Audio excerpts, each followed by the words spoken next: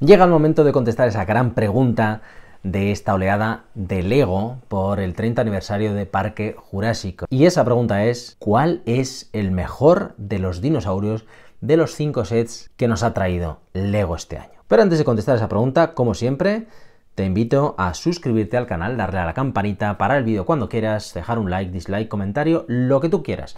Ya sabes que estás en tu casa de Lego en español. El otro día comparamos todas las minifiguras, las 14 minifiguras del set, hablamos de los números de, esta oleada, de todos los sets que hemos tenido, los 5 sets, precio y de manera individual ya hemos analizado cada uno de los sets. Eh, tenéis los enlaces en el canal y si no en cualquiera de los vídeos de Parque Jurásico tenéis enlazadas las reseñas. Ahora bien, de todos estos dinosaurios, de estos 6 dinosaurios que nos ha traído Lego, ¿cuál es el que mejor valor nos deja. Bueno, pues aquí yo creo que tener en cuenta varios factores. El primero es cuánto te gusta cada uno de los dinosaurios. Eso es muy importante. A mí personalmente me gusta muchísimo el Triceratops. El Triceratops es una minifigura espectacular. Fijaos el tamaño que tiene, movilidad de la cabeza, izquierda, derecha, arriba, abajo. Es una pena que no podamos abrir y cerrar la boca, pero la minifigura es imponente, es espectacular. Tiene movilidad en las patas, tiene movilidad en el cuello, tiene bastante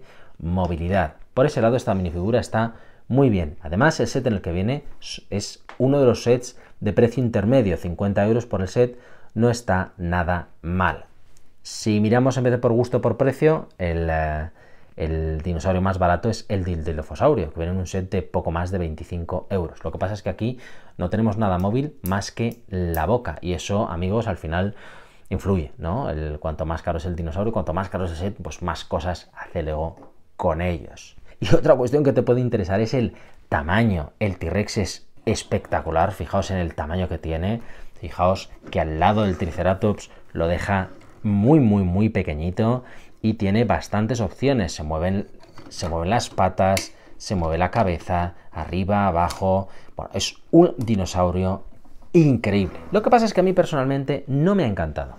Me gusta, pero hay algo en el esquema de colores y, eh, lo que han hecho con el dinosaurio que no me termina de encajar. También es verdad que en esta casa hay muchos T-Rex de muchos juguetes diferentes y es el que menos valor nos aporta, porque al final aquí mi hijo tiene T-Rex para aburrir. Tenemos Tiranosaurio Rex a punta pala. Y por otro lado, a mí me ha sorprendido y me ha gustado mucho este Brachiosaurio. Fijaos que es que, aparte de ahí, si ponemos Brachiosaurio Tiranosaurio y T-Rex son los tres más espectaculares de esta oleada. Pero en espectacularidad es que el que más gana es el Brachiosaurio. Entiendo perfectamente que este haya sido el set que más se haya agotado de todos, porque este Brachiosaurio es una pasada. Me encanta, me encanta el tamaño, me encanta cómo se mueve, me encanta la forma de la cabeza, los colores. Es una pena que no se puedan mover las patas, pero es verdad que con lo grande que es ya añadirnos las patas, pues no sé, quizá el precio se les hubiera ido de las manos. Y eso luego, pues, aunque no lo parezca, de vez en cuando lo cuida. Y por último tenemos estos velociraptores, unos velociraptores que están bastante bien, pero me pasa lo mismo que con el eh, tiranosaurio. No me encanta la paleta de colores. Me gusta el tiranosaurio, el perdón, eh, eh, el velociraptor, me gusta la minifigura, me gusta lo que puedes hacer, me gusta que puedas mover la cabeza izquierda derecha, abrir la boca, brazos arriba, brazos abajo. Me gusta mucho y de hecho ya habéis visto que toda la oleada aquí ha sido presentada por nuestro amigo el Capitán Mickey. Es otra forma de tener un caballo en forma de Velociraptor. Lo que pasa es que para conseguir estos Velociraptores hay que comprar los dos sets que yo creo que menos atraen de esta oleada. Por un lado, el set que está aquí a la izquierda de 4 años o más, que es, es bastante caro para lo que es, y por otro el centro de visitantes, que es el set más caro. Así que en cuanto a valor, yo diría que los Velociraptores no pueden ganar esta competición de cuál es el mejor dinosaurio. El que sí que podría competir es el Dilophosaurus, como digo, viene en el set más barato. Lo que pasa es que también es el dinosaurio que menos nos aporta al conjunto. Es el. No podemos hacer nada con él. No tenemos ninguna. Eh, prácticamente ninguna opción de juego. Así que, como decía, nos queda al final la tríada: Brachiosaurio, Tiranosaurio, Triceratops. Y de estos tres, la verdad es que están muy bien los tres. Yo creo que el tiranosaurio cae porque no me termina de convencer, ya os digo, el colores, estética y sobre todo el precio, son 130 euros por el set. Así que si vamos a elegir al mejor de los tres, yo creo que la duda estaría entre estos dos. Y aquí, amigos, cualquier cosa podría cambiar esta decisión. Lo que pasa es que mientras que el Triceratops viene con ese jeep que veis ahí, que es uno de los jeeps más icónicos de esta, de esta película, viene con dos minifiguras que, bueno, pues no dicen demasiado. Viene con la que yo creo que es la peor minifigura de todas, que es Jeff Goldblum, eh, Ian Malcolm, si no recuerdo mal el nombre, que con ese fallo de impresión en el pecho, eh, a mí es que no, no me encanta.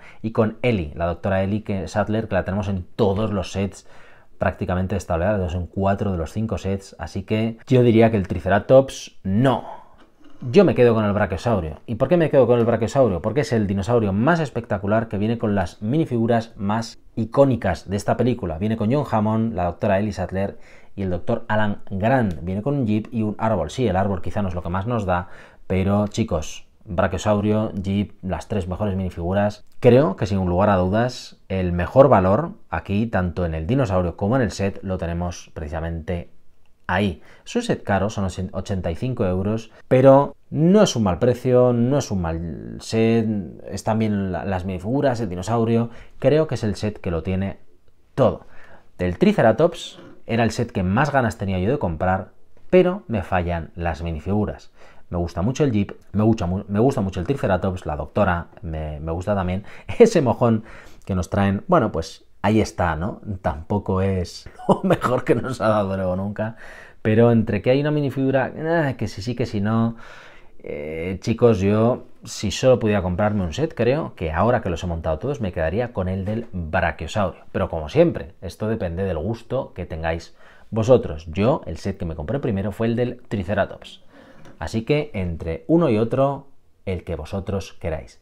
Y si me dijerais cuál es para mí el mejor set en valor, eh, precio, calidad, lo que tenemos, diría que el de la emboscada del Dilophosaurio.